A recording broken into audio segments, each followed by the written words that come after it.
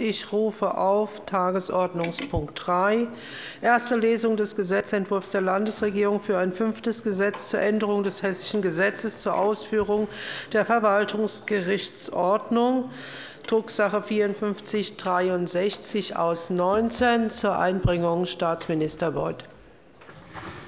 Frau Präsidentin, meine sehr geehrten Damen und Herren! Das Hessische Gesetz zur Ausführung der Verwaltungsgerichtsordnung tritt am 31. Dezember 2018 außer Kraft. Der Gesetzentwurf sieht die Verlängerung der Geltungsdauer bis zum 31. Dezember 2026 vor. Für sich betrachtet ist dies unspektakulär.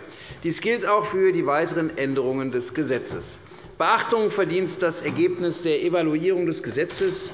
Diese, die für die Verlängerung von Gesetzen erforderlich ist, fand im Jahr 2016 statt. Ihr Ergebnis ist, dass sich das Gesetz bewährt hat, und zwar so gut, dass nur wenige inhaltliche Änderungen vorzunehmen sind. Erfolgreich bewährt haben sich insbesondere die Vorschriften über den Wegfall des Vorverfahrens und über den Wegfall des Devolutiveffektes des Widerspruchs bei den Landkreisen und größeren Städten.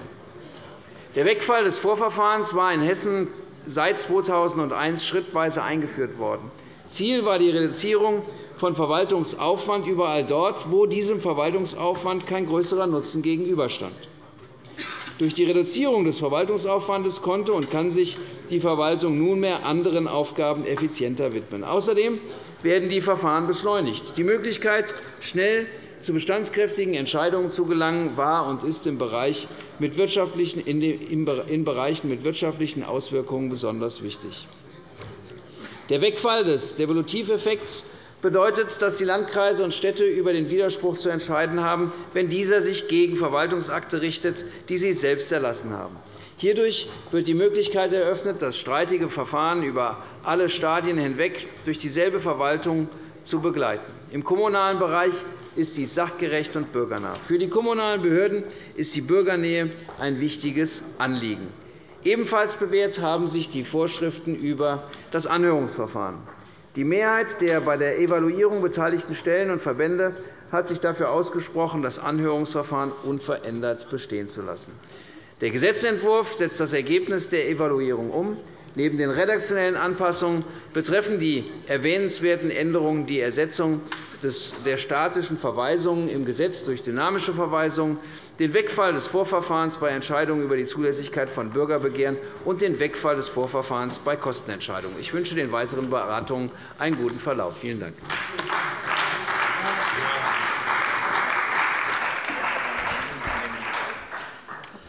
Vielen Dank. Als Erster spricht Kollege Rudolph, SPD-Fraktion, Redezeit fünf Minuten.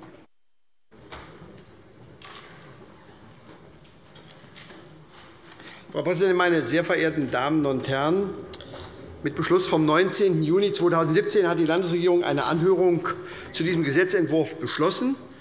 Das begrüßen wir ausdrücklich. Das ist jetzt ein normales Gesetzgebungsverfahren. Die Regierung berät über ein Gesetz, das bis 31.12.2018 befristet ist, entscheidet dann, ob dieses Gesetz verlängert werden soll, führt dazu eine regierungsinterne Anhörung durch. Ich finde, Dafür muss man diese Regierung loben. Und, äh, ja, da kenne ich nichts, Herr Kollege Frömmrich, weil jetzt kommt die kleine Einschränkung.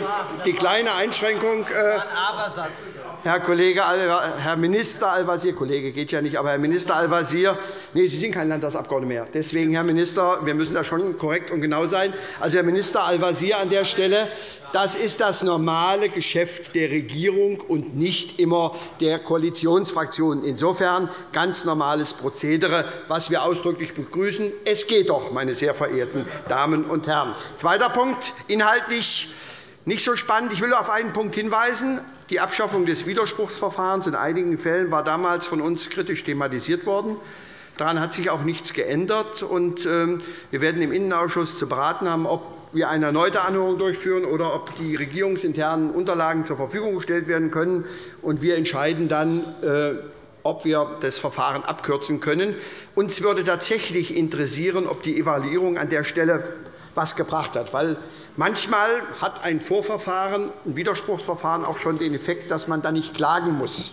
Und gerade auch Verwaltungsgerichte haben sehr viel zu tun. Die Verfahren dauern teilweise zwei bis drei Jahre. Das ist ein Punkt, wenn es jetzt keine Hinweise aus der Praxis gibt, dass das zu vermehrten Klagen geführt hat, wäre das in der Tat auch ein Aspekt, den man dann berücksichtigen muss. Deswegen, wie gesagt, glaube ich, können wir in einem vernünftigen, dennoch ähm, kurzen Verfahren entscheiden, ob wir dieses Gesetz so verlängern können. Und dazu sind wir ausdrücklich bereit. Vielen Dank.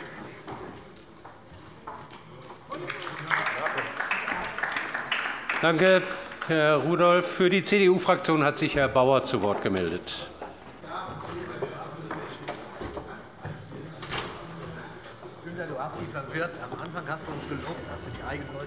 Herr Präsident, meine sehr verehrten Damen und Herren! In der Tat, das Thema ist äh, kein Gassenhauer, aber man muss trotzdem ein Stück weit dazu Stellung nehmen. Kollege Rudolph hat deutlich gemacht, dass wir in der Lage sind, nach der entsprechenden Auswertung und Evaluation dieses Gesetz auch zu verlängern mit äh, sinnvollen äh, Modifikationen und Veränderungen. Es sind umfangreiche Vorbereitungen schon erfolgt. und Wenn man sich die Unterlagen anschaut, kann man eigentlich sicher sein, dass man auf einem guten Weg ist und die entsprechenden Anforderungen auch entsprechend gut eingearbeitet sind.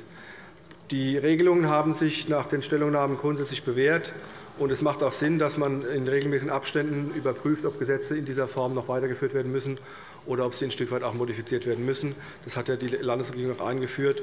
Und so konnten wir in den ersten zehn Jahren rund 15% der Gesetze und rund 30% der Rechtsverordnungen und Verwaltungsvorschriften auch abbauen. Das ist auch ein wichtiger Hinweis, dass man durch Evaluation gewisse Dinge auch äh, entschlacken kann und damit auch ein Stück weit mehr Klarheit und Transparenz im Verwaltungshandeln schaffen kann.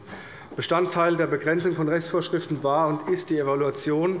Und die hat nun für das Ausführungsgesetz zur Verwaltungsgerichtsordnung, äh, dessen Ablauf am 31.12. stattgefunden hat, äh, mittlerweile Folgendes festgestellt dass alle, die in der Praxis damit zu tun haben, Stellungnahmen abgegeben haben, die Ressorts, die nachgeordneten Behörden, die Kommunalen Spitzenverbände, Wirtschafts- und Infrastrukturbank konnten Erfahrungen einbringen. Alle haben mehr oder weniger die entsprechende Fortführung auch äh, für gut befunden. Und es handelt sich bei den hier angepassten Änderungen lediglich um kleinere formale Änderungen und Änderungen redaktioneller Art. Diskussionsbedarf bestand lediglich bei dem Wegfall des Devaluationseffekts und damit wird der Umstand bezeichnet, ich musste das auch ein Stück weit mir auch aneignen, dass Rechtsmittel immer von der nächsthöheren Instanz entschieden werden. Das ist sicherlich ein Thema, das strittig dargestellt wurde. Zumindest hat der Hessische Städtetag hier für eine Wiedereinführung sich ausgesprochen, und der Landkreistag hat sich für einen angemessenen Ausgleich für den Wegfall stark gemacht. Wir werden das im Ausschuss zu erörtern haben. Und dementsprechend möchte ich an dieser Stelle heute nicht weiter darauf eingehen. Die Beratungen beginnen jetzt erst, aber ich glaube, dass wir mit dem Gesetz in kürzester Zeit auch zu einem guten Ergebnis kommen können. Besten Dank.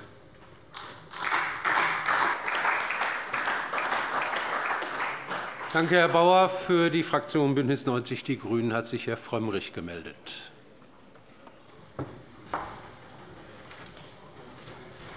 Vielen Dank, Herr Präsident, meine sehr verehrten Damen und Herren! Ich am Anfang muss ich, glaube ich, sagen, dass ich das noch erleben darf. Äh, da haben wir alle darauf hingearbeitet, dass der Kollege Rudolph hier vorne hingeht und äh, die Hessische Landesregierung lobt. Äh, das finde ich doch etwas, was man durchaus einmal erwähnen sollte, weil dann steht es auch im Protokoll und wäre ja auch ganz schön, wenn die, ähm, wenn die Damen und Herren der Regierung das dann auch den jeweiligen Kollegen, die heute nicht da sind, erklären, weil das ist, glaube ich, ich kann mich nicht erinnern, dass das in dieser Wahlperiode schon einmal so passiert ist, dass die Hessische Landesregierung Landesregierung vom Kollegen Rudolph gelobt worden ist. Ich finde, das sollten wir einmal unterstreichen und sollten uns darüber freuen. Ich kann mich äh, Sie haben das gesagt, äh, der Landtag, äh, der Gesetzgeber, dass äh, die Landesregierung jetzt hier ein Gesetz vorlegt, das vorher auch angehört worden ist und das dann hier auch dem Landtag zugeleitet worden ist. Ich verstehe dann hintenrum die Kritik immer nicht so richtig, weil eigentlich ist der Gesetzgeber ja der Hessische Landtag. Von daher kann man auch eigentlich nicht schlecht finden, dass die Regierungsfraktionen Gesetze einbringen. Aber okay, darüber kann man mit Sicherheit streiten. Ich kann mich noch an alte Zeiten erinnern. Da hat man in Runden zusammen zusammengesessen. Da wurde dann abends, äh, wenn die Vorlage da lag, wurde gefragt, welchen Briefkopf nehmen wir dann. Ähm, äh, da sollte man sich vielleicht auch einmal daran erinnern, wenn man sich, äh, wenn man sich darüber auslässt, dass sozusagen auch Regierungsfraktionen Gesetze hier vorlegen. Der Innenminister hat es gesagt. Das ist ähm, ein ziemlich unspektakuläres Gesetz, was, wir hier, äh, was hier heute von der Landesregierung vorgelegt werden. Das, das Ursprungsgesetz läuft 2018 aus. Wir wollen das bis 2026 äh, verlängern. Es hat eine umfangreiche Evaluation zu dem Gesetzentwurf stattgefunden. und Es geht im Prinzip um eine Sache. Der Kollege Rudolph hat es angesprochen, ist die Frage der Widerspruchsverfahren und der äh, damaligen Abschaffung der Widerspruchsverfahren. Widerspruchsverfahren. Dazu äh, denke ich, äh, werden diejenigen, die dazu angehört worden sind, auch ausgiebig Stellung genommen haben. Von daher werden wir das mit Sicherheit auch ähm, im Ausschuss ähm, äh, bei der Anhörung ausreichend diskutieren. Ich bedanke mich für die Aufmerksamkeit und freue mich auf die Anhörung im Ausschuss. Vielen Dank, Herr Frömmrich. Mir liegen keine weiteren Wortmeldungen vor. Das heißt, wir äh, ja, aber fix dann. Nö. Okay, Herr Schaus für DIE LINKE. Herr Präsident, meine sehr geehrten Damen und Herren! Ich war jetzt etwas überrascht, weil ich davon ausgegangen bin, dass äh, die FDP da auch noch äh, sich zu Wort melden wird. Aber nun gut. So, okay. Also, es ist ja schon angesprochen worden. Der Kern des vorliegenden, der vorliegenden Gesetzesänderung ist neben ich sage mal, ähm, äh, ähm, äh, redaktionellen Änderungen ähm, die Änderung des äh, § 16a. Hier geht es um die Abschaffung des Widerspruchsverfahrens, also eines Vorverfahrens vor einem Gerichtsverfahren. Ich möchte Sie mit einem Zitat ich möchte jetzt mit einem Zitat beginnen aus dem Juni 2002 aus einer Diskussion hier, als nämlich der § 16a seinerzeit eingeführt wurde. So, ich sage Ihnen dann im Anschluss, wer das gesagt hat, Herr Frömmrich.